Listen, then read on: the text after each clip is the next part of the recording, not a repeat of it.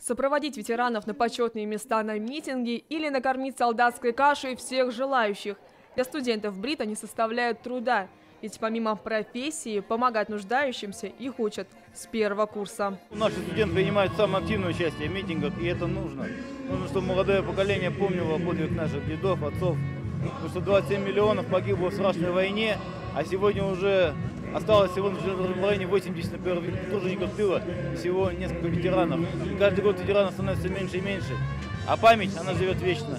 Поэтому наше молодое поколение принимает стопроцентное участие. А, Сегодня великий день, сегодня великий праздник. Сегодня мы со студентами техникума вышли на площадь Славы для того, чтобы а, почтить память наших предков, наших дедов. Вообще вот в деле патриотического воспитания очень много делается вот в рамках индустриального техникума, а, различные мероприятия, викторины. На торжественный митинг вышли 200 волонтеров. Сегодня простое общение с ветеранами доставляет им радость, так же, как и помощь в обычные дни.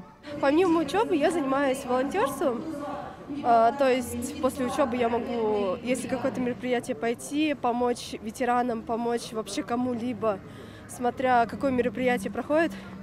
И это доставляет мне удовольствие в первую очередь. Студенты готовы помочь каждому, кто обратится. И не только вне праздников, а на протяжении всего года. Валерия Каратуева, Бато Гармен. Новости дня.